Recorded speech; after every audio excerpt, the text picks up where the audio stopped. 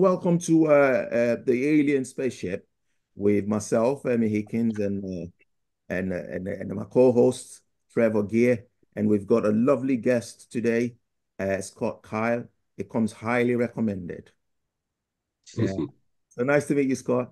Uh, just tell us about your project, Scott. Uh, well, yeah, very nice to meet you both. Uh, thanks for having me on your show. Um, yeah, so so we're currently uh, producing and, and uh, touring a show called Singing I'm No Billy, He's a Tim. Uh, so we're uh, we're in rehearsals for that, and we we start the tour at the end of this month. Uh, we kick off in London, and then we tour the whole UK um, for the next two years. Um, so uh, so yeah, the, the, the show is the 20 year anniversary of the show. Um, so we did we did the show with a break from the show for about 15 years, myself and the cast. Um, but the first time round we did pretty well. The show grossed over a million pounds at the box offices over the UK. Wow. And uh, and we took it to the Edinburgh Festival in 2010. And uh, I was fortunate enough to pick up the stage Best Actor award. So uh, it's, it's the coveted stage award for acting excellence, which uh, which meant a lot to me because I'd cast myself in the play. So uh, it was like vindication that I'd done a good job of the casting uh, when I went, when I picked up the award. So so yeah, it's exciting to be getting back in, putting the tops back on again, and and and taking taking the show on the road again. Very exciting. Yeah, absolutely. And you did mention something about the Edinburgh Fringe Festival. That, that's something. Yeah, so so we're going to be doing the Edinburgh Festival in August this year, um, and this is what we're returning after I think it's 14 years. In, in 2010, we were there uh, at the Edinburgh Festival, and we were the toast of the Edinburgh Festival. I mean, we had the comedians. Uh, uh, Jason Byrne, Kevin Bridges, uh, Alistair McGowan, and stuff all came to see us at the Edinburgh Festival the first time round, and that's uh, where I scooped the award uh, the first time round. So we're going back. I, I, don't think I'm quite defending my title 14 years later, but it would be nice to to win it again. That would be nice. nice. Are you doing the same role? Yeah, it's, it's, it's the same role. It's the same role, but it's uh, it's 15 years on. So, yeah. so I'm 15 years old, yeah. and so is the rest of the cast. So we're not, we're not we're no longer playing 25 year old young men. We're now 40 year old no. men in the prison cell.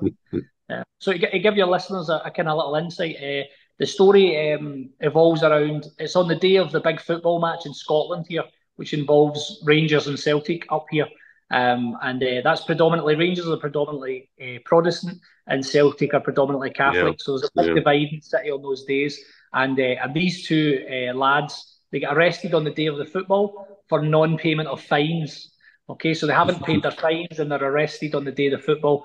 And what they do is they manage to get their wives to put money on their respective team. Uh, the gamble, so they put a gamble in, they're gambling some money. So if their team wins, their wives will go to the bookies, collect the winnings, and pay their fine, and they'll be out.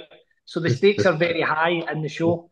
Uh, the, the the jailer, the, the, the person in the prison cell that locks them up is a guy called Harry, and uh, and Harry's the the it's essentially Harry's story, and these two characters come crashing into Harry's world this day. And what's going on in Harry's world is he's waiting on a phone call about his sick grandson. So his grandson's in for a big operation, and he's awaiting that phone call. So as the play kind of progresses, the two boys manage to persuade Harry to turn the TV round in his office and let them watch the big match. So they're having turns each of watching the football match, but also as the play unfolds, they're starting to get an insight into Harry's world and they start to learn about his grandson and the operation, and the guys kind of come together to try and support Harry uh, throughout the story. So it's a, it's a brilliant, very entertaining piece of theatre, and we use football and and the uh, and the sectarianism within that, that particular mm. setting of Rangers and Celtic um, to kind of tell the story. But it's a brilliant piece of theatre.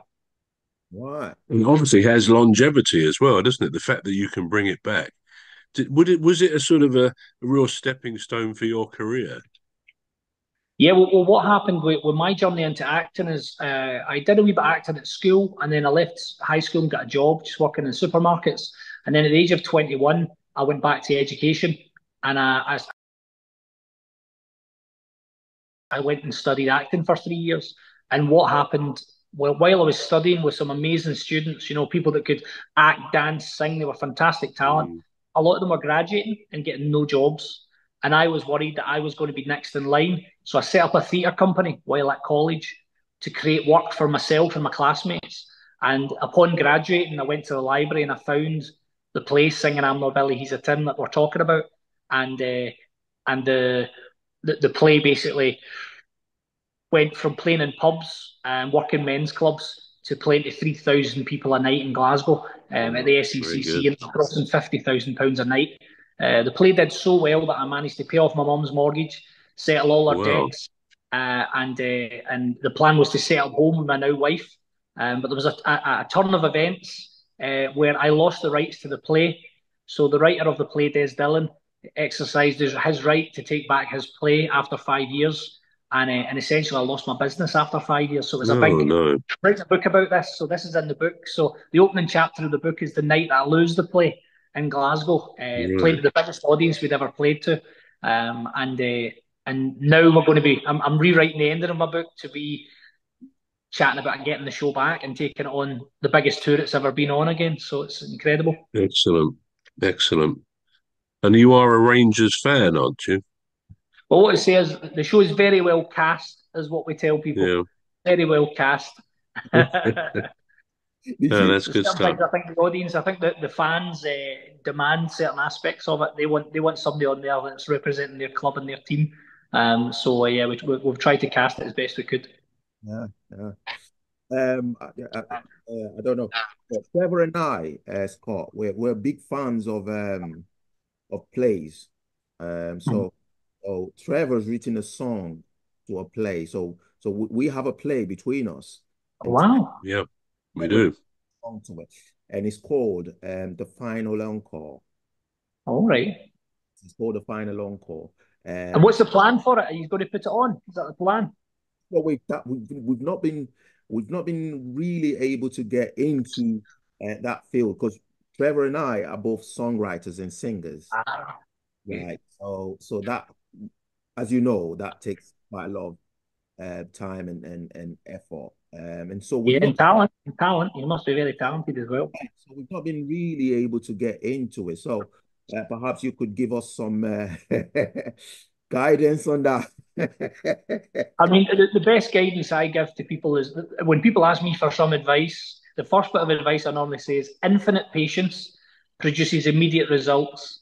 So if you if you can be infinitely patient in this industry, then you'll get immediate results. Um, and the other wee bit is is to start. So you could we we we started putting our show on in the college that we were studying at, and then we went in, into the pubs, the local pubs, anywhere that would have us. Um, I'm a big believer in acting as storytelling, and storytelling is within every one of us. And it's it's it's it's came from you know when we were cavemen and cave women. So storytelling's always been always been there. It's how we've learned everything we've learned, and it's how we teach everything we teach through storytelling. So everybody's got it. It's just finding the right story for you to tell, uh, and then all you do is take it to the audience, and the audience will tell you what's what's working and what's not. The important thing is not to worry about it being perfect. You put it on, you get feedback, you improve it. You put it on again, you get feedback, you improve it, and you keep putting it on. Um, to the extent where we, we're doing a show that we did the show for five years so we're very good at it. You know, we're very good at it. And we're now revisiting it, you know, over a decade later. And we went into rehearsals and a lot of the lines are already there. So mm. we're back into things we've already done. So we'll be the audiences will be getting all that experience, the benefit of all that experience. And that's what you want to do is put it on and then keep putting it on and tweaking it and making it better every time. That would be my advice. Absolutely. I mean, it's the same thing. It's in principle with songwriting, ain't it, Trevor? You'd agree with me, won't you? Uh, you just have to, you just have to take that first step, and you know, just just keep yeah. improving, improving on what you do. Um, just just just before we miss out on this very important uh, bit of the information that you've got to give us. So, when and where is the shows happening, and how can uh, people uh, get their hands on on tickets at, at the, the, tickets for sale. So if people are wanting some tickets, what they can do is they can go onto my website, which is www.scottkyle.co.uk. So that's Scott with two T's, and it's kyle.co.uk, and that's got all the dates on it. Now the show, as I say, opens in London, and then the show is on the road for the next eighteen months. So we, I'm pretty confident we are coming to a town near you. So if you check out the website, uh, so it's www